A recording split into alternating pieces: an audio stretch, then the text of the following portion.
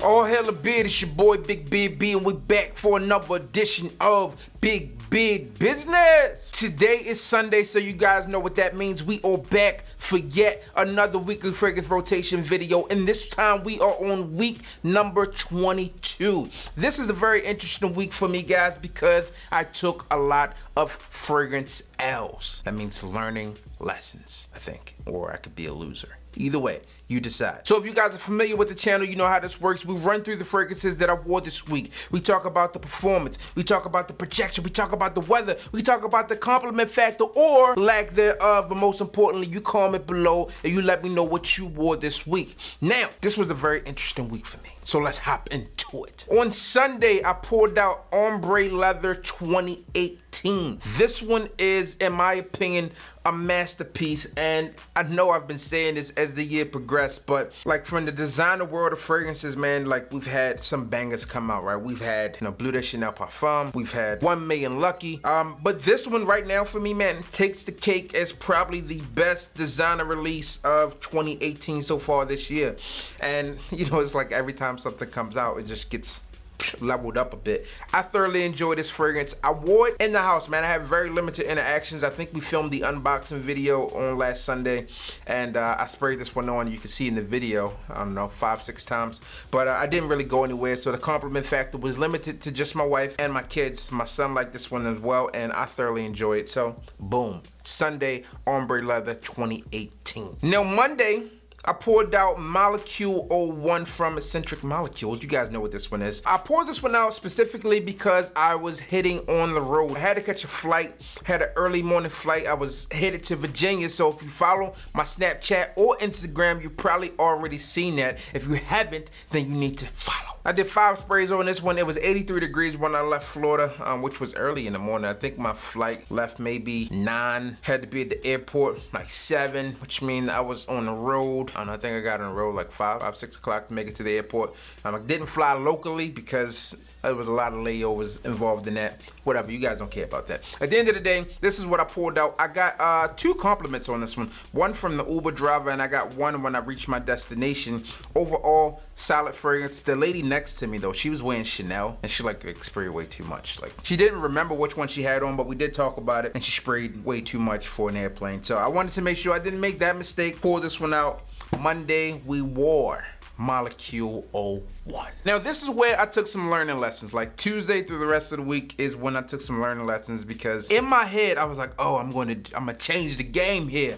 I'm going to just take my sample bag. I'm not going to bring anything with me, just my sample bag. Now I was like, oh, I have a lot of things to choose from in my sample bag, right?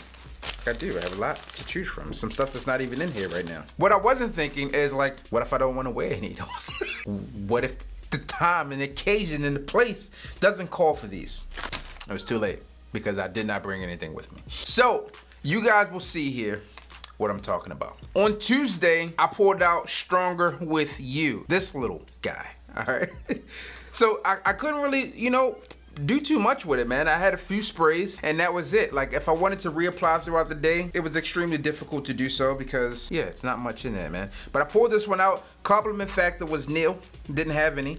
Um, but this is what I poured out, man. Stronger with you. I still think this is a great fragrance. I was indoors the entire time. I didn't know what the temperature was going to be like. They was like, oh, you know, you need to pack extra stuff, like in case you're cold. So I'm like, all right, cool. Let me pull this one out in case it's cold in the rooms. It wasn't. At least to me, it wasn't. But cool thing, on Tuesday, I was uh, inducted into the Hall of Fame for my company. So that was a great thing, man. So shout out to my company for making me in the Hall of Fame. You're welcome for all for everything that I do for you. On Wednesday, I poured out another sample pack, and this one, I was like, okay, I gotta do something that's more friendly, right? Something that's going to make sure that people recognize me. And I poured out Bleu de Chanel Eau de Parfum. This is the EDP, and um, as you can see, this is what I wore. And did I get any compliments? One. That's it. Just one. It didn't. I didn't feel like this one lasted a ton of time, and that's typically the feedback that you get when you get these like little testers, little samples like that. You can't really gauge projection, you can't really gauge performance, etc. because it's so small. I don't know how many sprays of this you would have to do to equate to like a regular spray. But nonetheless, I got one compliment on it and this was the learning lesson to never do this process again. On Thursday, I poured out one of the samples that I have of Tom Ford Rive d'Ambre brought this one along with me. Five sprays of this one. Again, no compliments on this one, man. And um, it was just like an L. Like I was like one, two compliments, zero compliments. Like what the hell is going on? There was a lot of people around me. Like a lot of people come and talk to me. They were speaking to me, trying to plead their case. Oh, you should come out here and work. I'm like, uh, I don't know.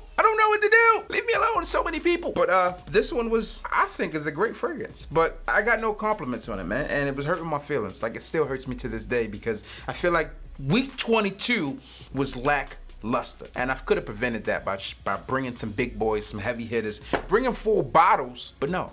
All right, so on Friday, I wore Tom Ford Tuscan leather indoors. Again, cool weather. I don't know where it is in here. I know it's in here, or maybe I left it in the hotel. I don't know. I, I feel like it's in here. But on Friday, I wore Tom Ford Tuscan leather.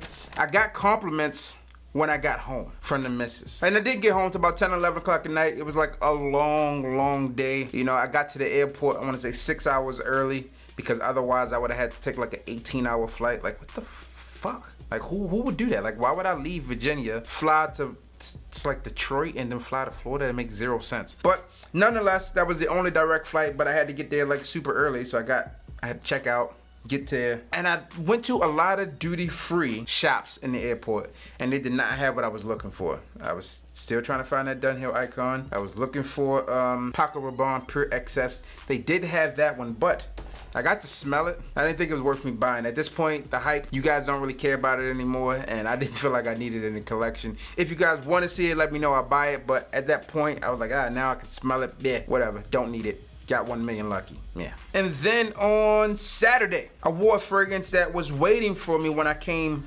home. This one is a super dope fragrance, man. I do like this one. I know this is an iris-based fragrance. This one is called L'Attesa, and I would definitely get you guys a review of this one out. Listen, this one that I have, and I think it's called a Russian Twist. Dope House, two dope fragrances. And they kind of just hit me up. They said, look, Big B, B, we like you, all right? Go through the site, find what you want, and we'll send it to you. And I'm looking through the notes. I'm like, okay, yeah, we'll see. They, they sound good, but you know, you get some things out there from these companies that you don't know about. They come in and you're like, man. But these, immediately, the missus was like, what do you have on? My son came downstairs, he said, I see you, Dad. I see you. I see you smelling good. I said, okay. Yeah, these are dope. So I wore this one to Saks to pick up. Probably already, no, you did not see it because it's a Sunday. I'll leave that alone. but uh, I did wear this one, man, and I got compliments from the family. Stayed in the house until super late. Like, we didn't get to Saks until 8.30. They close at 9. So you guys understand, like, you, you kind of in and out there. And that's it, man. So there you guys have it. That's my week in a nutshell. I took a lot of learning lessons in week 22, but it's fine, man. It happens from time to time. I know that in my brain, I was trying to be innovative. I was trying to have the maximum amount of fragrances available to take along with me um, and still abide by TSA guidelines. But it did not work out the way I thought it should work. And listen, me, me being the fragrance guy, being around a bunch of people, like I should have had some heavy hitters with me, right? So I could talk about it like, yeah, oh, you like this one? It's $550. Like I could have had that type of conversation, but I did not. But there you have it, man. Week 22 for me. What worked for you in week 22? Hopefully you had a lot better week than me. And as always, I'm your boy Big Baby. Don't forget to like, comment, subscribe, tell a friend, tell a friend that we are back again. And hit the goddamn bell. Boom. Sold to that guy that just hit the goddamn bell.